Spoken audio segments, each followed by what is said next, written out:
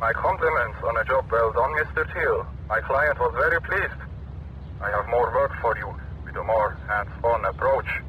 Your next job is taped under the phone.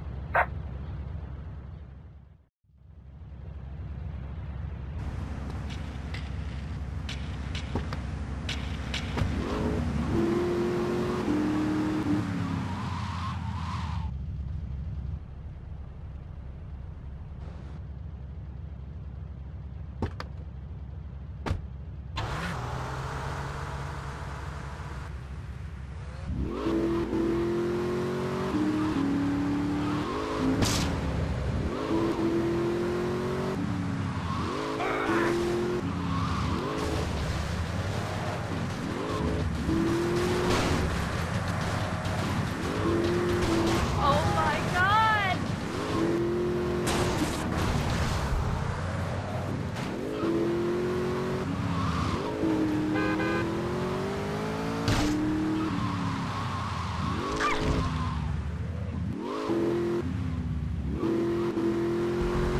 Help me!